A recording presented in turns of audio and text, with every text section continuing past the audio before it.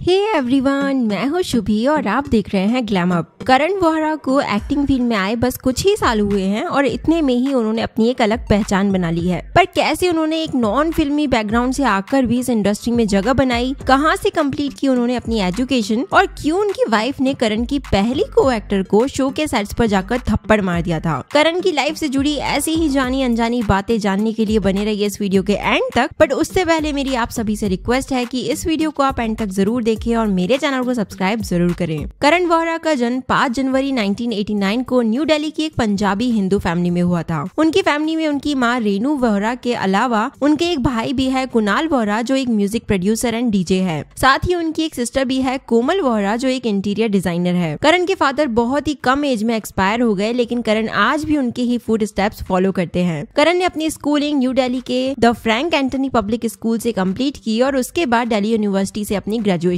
जब करण बस सत्रह साल के थे, तब उन्होंने मिस्टर इंडिया कॉन्टेस्ट में पार्टिसिपेट किया था और वो उस कॉन्टेस्ट के वन ऑफ़ द फाइनलिस्ट में अपनी जगह बनाने में कामयाब रहे। भले ही करण मॉडलिंग इंडस्ट्री से जुड़े रहे, पर एक्टिंग फ़ील्ड ज्वाइन करने के स्टार्टिंग में उनके कोई प्लान नहीं थे। इनफैक्ट उन्हें एक्टिंग की एबीसीडी भी नहीं आती थी। फिर कैसे 2016 में जाकर उनके एक्टिंग करियर की शुरुआत हो सकी और बस छह साल और चार टीवी शोज़ में ही वो मासिव फ़ैन फॉलोइंग गेन करने में कैसे कामयाब रहे हैं, इस बारे में अब जान लेते हैं। करण ने इस फ़ील्ड में पहचान बनाई, उसकी भी इंटरेस्टिंग सी कहानी है बट उनके करियर के बारे में जानने से पहले मैं बता दूँ कि करण की सिस्टर कोमल वोहरा इंडिया के famous rapper and singer Raftaar की एक्स वाइफ रह चुकी है और दोनों का शादी के छह साल बाद डाइवोर्स हो गया था। वही करण ने इस इंडस्ट्री में नाम बनाया, उससे चार साल पहले, साल 2012 में वो अपनी long time girlfriend Bella Handa से शादी कर चुके थे, जो फ़िलहाल स्पाइस जेट एयरलाइंस में ट्रेनर रिक्रूटर और ग्रूमिंग हेड है। आज करण की शादी को दस साल हो चुके हैं और वो अपनी वाइफ के साथ साथ बहुत अच्छी लाइफ जी रहे हैं। पर करण के पहले ही शो के बाद से ही उनकी वाइफ और उनका नाम एक कंट्रोवर्सी से जुड़ गया था, जिसके बारे में मैं वीडियो के एंड में शेयर करूँगी। खैर तो मॉडलिंग करने के बाद करण न्यू दिल्ली के एक कंस्ट्रक्शन कंपनी में काम किया करते थे और उनके इस इंडस्ट्री में आने के कोई प्लान नहीं थे, पर एक्टिंग शायद उनकी डेस्टिनी में थी और एक्सीडेंटली वो इस इंडस्ट्री में आ गए। दरअसल उनका खुद का कोई एक्टिंग बैकग्राउंड नहीं था बट उनके काफ़ी फ्रेंड्स फ़िल्म इंडस्ट्री से जुड़े थे।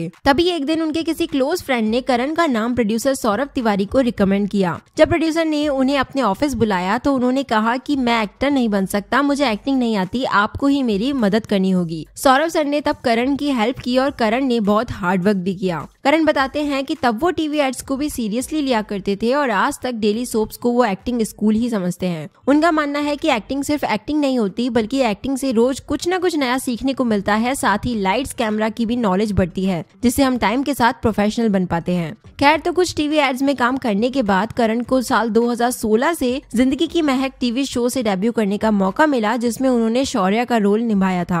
ये शो उनका पहला टीवी शो था और शो थोड़ी बहुत पॉपुलैरिटी पाने में कामयाब रहा। इसके बाद साल 2018 में वो स्टार प्लस के शो कृष्णा चली लंदन में डॉक्टर वीर के रोल में कास्ट किए गए। इस कैरेक्टर की उन्हें आइडियोलॉजीज और डिफरेंट शेड्स बहुत पसंद आए थे, इसलिए उन्होंने अपने कैरेक्टर के साथ एक्सपेरिमेंट करना ठीक समझा। बाद में 2021 में उन्हें पिंजरा खूबसूरती का शो में राघव शास्त्री के रोल में कास्ट किया गया। बट करंटली 2022 में उन्हें स्टार प्लस के एक और शो इमली में अथर्व के रोल में बिग ब्रेक मिला है और उनकी एक्टिंग से सभी लोग इम्प्रेस्ड हैं। करण कहते हैं कि उन्हें टीवी शो की टीआरपी वगैरह से कोई फ़र्क नहीं पड़ता और ना ही वो प्रेशर से अफेक्ट होते हैं उनका फोकस बस अपने काम को फुल फोकस रोकर करने पर रहता है और वो रिस्क लेने से भी पीछे नहीं हटते बट करण वोरा की वाइफ बेला वोरा के लिए कुछ साल पहले सुनने में आया था कि उन्होंने ज़िंदगी की महक में करण की को एक्टर समीक्षा जायसवाल को स्लैप कर दिया था। रिपोर्ट्स ये थी कि समीक्षा ने अपनी फ्रेंड से ये बोल दिया था कि करण पर उन्हें क्रश है। जब करण की वाइफ को इस बारे में पता चला तो उन्होंने समीक्षा को करण से दूर रहने के लिए कहा, जिस पर समीक्षा ने